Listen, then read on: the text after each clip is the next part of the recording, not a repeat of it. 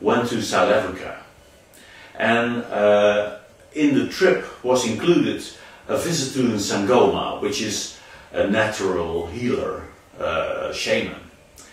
And she was talking to this uh, shaman, and shaman asked her certain questions, and she asked her, "How are your relationships doing?" And uh, well, she had to admit that her relationships were only very brief, maybe lasting no more than two and a half years. And so the Sangoma uh, looked at her and she said, Well, um, this may change when you are able to take your grandmother out of your shoulder. So this gave her the shivers because she found it such a good match with her experience. Because the only person alive that was really nice to her was her grandmother, and she also looked like her grandmother.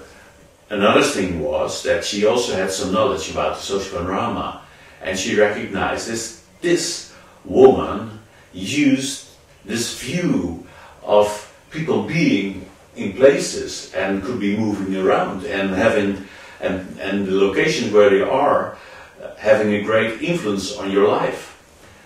So what may this mean?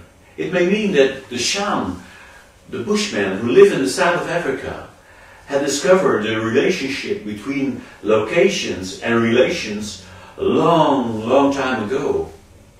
And they may have given it to this Sangoma. Maybe it's common knowledge in the south of Africa that where you think of a person means the quality, the emotional quality of the relationship. The idea that we project our thoughts in mental space, in the mental space around us, is not so new. Um, concerning the social part, we had already Kurt Lewin in 51, in 1951, who uh, discovered something about space. He called it a theory of social fields, and in his theory of social fields, he considered the distance and the direction where people were sensed very important. Maybe there's also a line from the South of Africa over Bert Hellinger, the German, who was a missionary in the South of Africa and who had seen the Zulus execute rituals where they worked as locations and their ancestors. And then there's a link to Virginia Satir who made family sculptures. And so she had an idea that location was important in how people sense their relationships. And then there was Moreno and Pesso who also used locations to do relational change with their clients. The concept of mental space was introduced by Gilles Fauconnier, a French linguist, uh, in about uh, 1997. He was thinking of how people gave meaning to words, and he found out that they built sort of spaces where they saw on an unconscious level images and schemes of what they were talking about or what somebody else was talking about.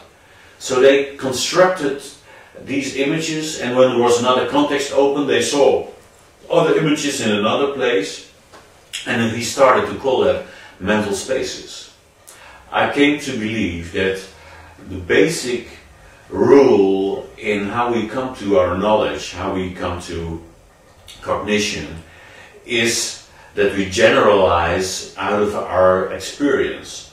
So when we have repetitive experience of something, we start to create an abstraction and the same holds for space.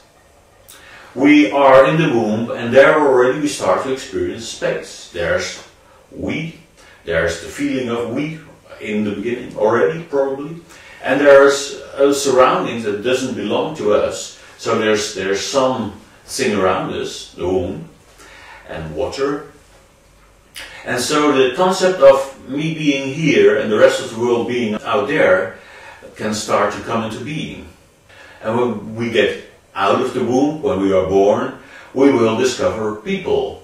And these people are moving around, and our mother may be here and there, and she may be talking different, and then she may be a bit annoyed. What we do when we are successful, we create one image of our mother in one location. And it may take some time before we are able to do that. Probably when we have found out to do that, we will repeat it with other people. And so we know the trick how to create a map of the social world. And we create this map in space because people appear in space. The personal timeline is a concept in NLP. It's also uh, rather familiar in anthropology and in philosophy at the moment. That people also discover that there is a linear structure that people create that represents time to them. So future in France or the future over there and the past over there. So when you're very pushy or very motivated has to do with how you envision the future. When the future is somewhere at your rear, it will not motivate you as much as when the future is in front of you and huge and shiny. And when you have the past in front of you, you may be totally occupied with past and history. I'm a very practical psychologist, and so people like me were always looking for how can you apply this? What can you do with an idea that, for instance, the timeline that you know that where a person places the future has a strong influence on them. And so we try to, to get things in motion. Can you move this person? And what happens? And can you move the person over there or, or over there? And when you're totally focused with somebody that's straight in front of you, can you move the person downward and a little bit to the side, for instance? What happens? And so this resulted in a collection of techniques that were specially designed in changing the imagery that made up a person's social panorama.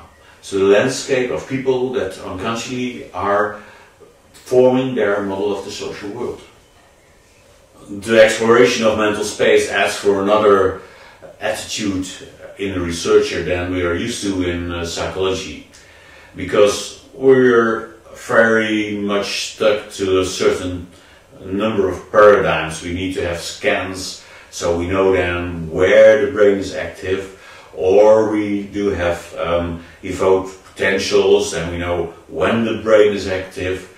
Um, we need to have questionnaires so we can read and calculate or we need to calculate behavioral things. And so in the last 30, 40 years we developed many tools to improve our technique of introspection.